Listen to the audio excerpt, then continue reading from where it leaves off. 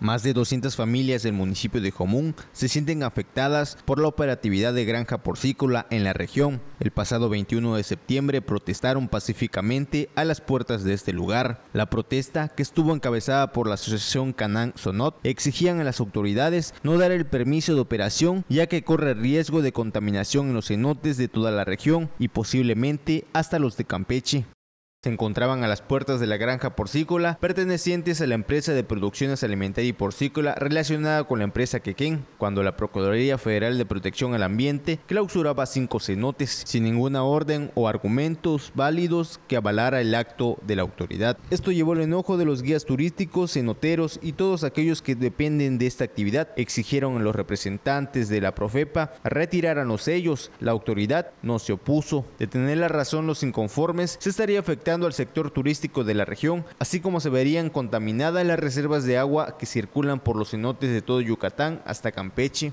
en lo que su momento una manifestación que parecía que se saldría de control, se hizo presente la policía estatal con más de 15 camionetas de antimotines. Sin embargo, el hecho no pasó a más, por lo que el día de hoy todos los cenotes de Jomún deberán estar recibiendo cientos de turistas locales, nacionales y extranjeros. Con edición de Iván Alfaro, imágenes e información de Jonathan Helera, Telemar Noticias.